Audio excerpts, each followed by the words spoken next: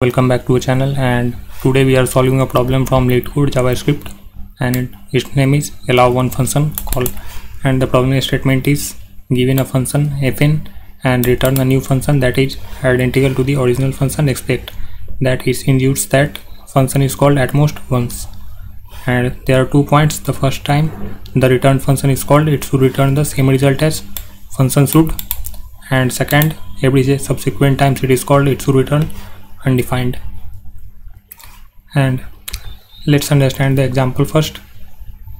And the example is uh, there is a function which is taking three arguments a b and c and returning the sum of all these three arguments.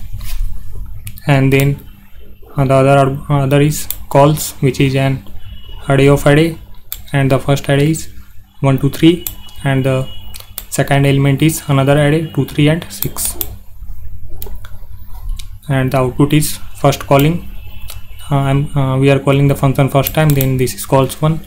And at the first time it should return the output of the function. So it is returning the sum of all the elements of the array uh, calls 1 1 and at the next time we are again calling function with the second element of the array which is another array containing 2 3 and 6 and because we are calling it twice then it should return undefined because function was not called here okay? So hope it is clear to all. And now we should move to the code part. So just to keep the track let's create a variable first call and initialize it with true assuming that it is our first call. And in our function checking if if first call. if first call is true. Then we should change the first call value to false. And again let's return the function and send it the args and now it should work fine. And to give the overview of code let's I, I created a function uh, variable first call and assign it true and then returning the whole function.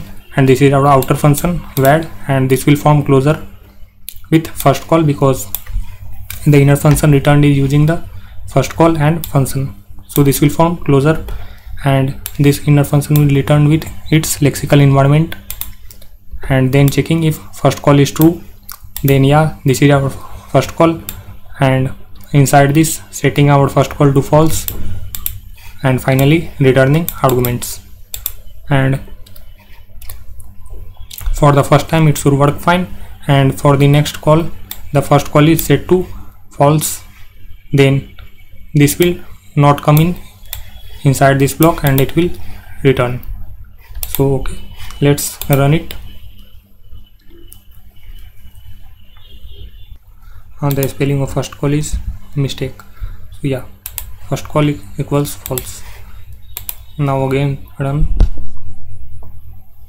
yeah it's worked as expected and now submitting the solution. Yeah it got accepted. And now discuss the, what's the time complexity and the space complexity for this code. So because we are calling uh, once first time and then it returned this function as you see here. And in inside this function we are not iterating anything. So this is just a constant. Time complexity and space complexity is also constant. So the time and space complexity is big of 1 here